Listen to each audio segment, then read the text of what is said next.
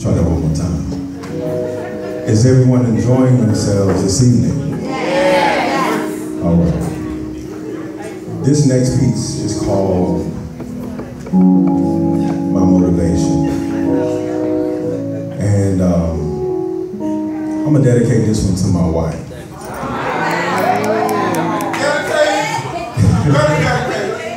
um, baby, April.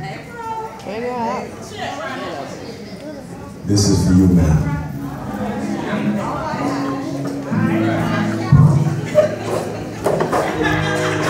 All right. My motivation. To be the reason you smile and laugh when it seems that the whole world is against you.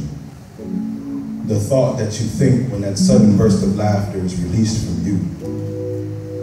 The touch that causes you to close your eyes complete anticipation of our embrace. To be the memory that keeps you motivated to go on throughout your day. To be the cause of that extra sway in your walk due to reminisce nights of fully getting to know each other.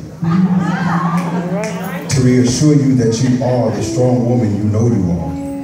The reason for you to rush home, knowing that I am there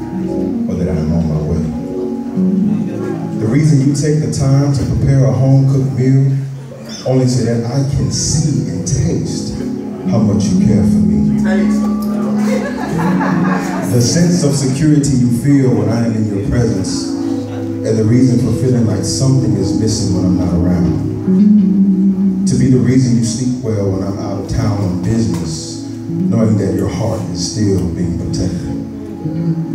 The reason you say my name with a smile, just to say it. To make sure that that porcelain figurine of our relationship never is dropped, chipped, or loses its beauty. My motivation.